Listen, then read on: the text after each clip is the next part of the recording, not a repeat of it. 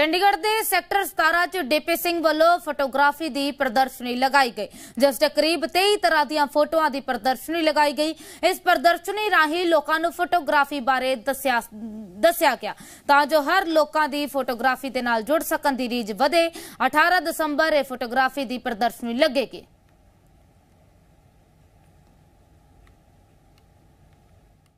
ਚੰਡੀਗੜ੍ਹ ਦੇ ਸੈਕਟਰ 17 ਦੇ ਵਿੱਚ ਫੋਟੋਗ੍ਰਾਫੀ ਐਗਜ਼ੀਬਿਸ਼ਨ ਲਗਾਈ ਗਈ ਹੈ। ਸਭ ਤੋਂ ਪਹਿਲਾਂ ਤਸਵੀਰਾਂ ਦਿਖਾ ਦਿੰਨੇ ਆ ਕਿ ਵੱਖ-ਵੱਖ ਜੋ ਕਲਾਕ੍ਰਿਤੀਆਂ ਦੇ ਨਾਲ ਫੋਟੋਗ੍ਰਾਫੀਆਂ ਹੋਈਆਂ ਨੇ। ਉਹ ਫੋਟੋਆਂ ਜਿਹੜੀਆਂ ਕਿ ਇੱਥੇ ਲਗਾਈਆਂ ਗਈਆਂ ਨੇ, ਪੇਸ਼ਕਾਰੀਆਂ ਕੀਤੀਆਂ ਗਈਆਂ ਨੇ, ਜਿੱਥੇ ਵੱਖ-ਵੱਖ ਲੋਕੀ ਜਿਹੜੇ ਕਿ ਆ ਕੇ ਫੋਟੋਗ੍ਰਾਫਰ ਇਹਨੂੰ ਦੇਖ ਰਹੇ ਨੇ ਅਤੇ ਵੱਖ-ਵੱਖ ਟੌਪਿਕ ਨੇ ਜਿਨ੍ਹਾਂ ਨੂੰ ਚੁਣਿਆ ਗਿਆ ਅਤੇ ਉਹਨਾਂ ਟੌਪਿਕਾਂ ਦੇ ਰਾਹੀਂ ਲੋਕੀ ਕਾਫੀ ਵਧੀਆ ਜੋ ਹੰਗਾਰਾ ਦੇ ਰਹੇ ਨੇ।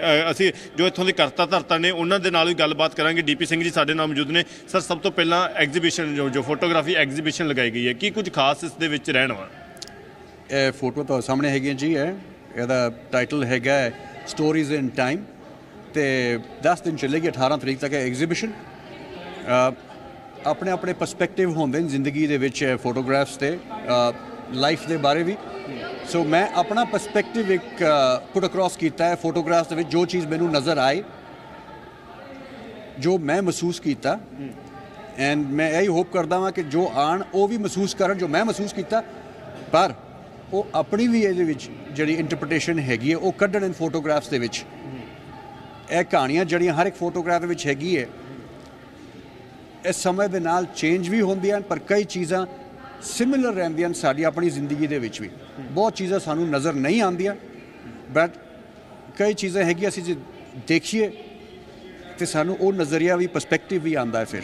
ਸਰ ਲੋਕ ਦੀ ਗੱਲ ਕੀਤੀ ਜਾਵੇ ਲੋਕਾਂ ਵੱਲੋਂ ਕਿਹੋ ਜਿਹਾ ਰਿਸਪੌਂਸ ਮਿਲ ਰਿਹਾ? ਪਹਿਲਾ ਦਿਨ ਸੀਗਾ ਪਹਿਲੇ ਦਿਨ ਦੇ ਵਿੱਚ ਕਾਫੀ ਲੋਕ ਇੱਥੇ ਆਏ ਹੋਣੇ। ਕਿਹੋ ਜਿਹਾ ਰਿਸਪੌਂਸ ਹੈ? ਕਿੰਨੇ ਦਿਨ ਹੋਰ ਚੱਲੂ?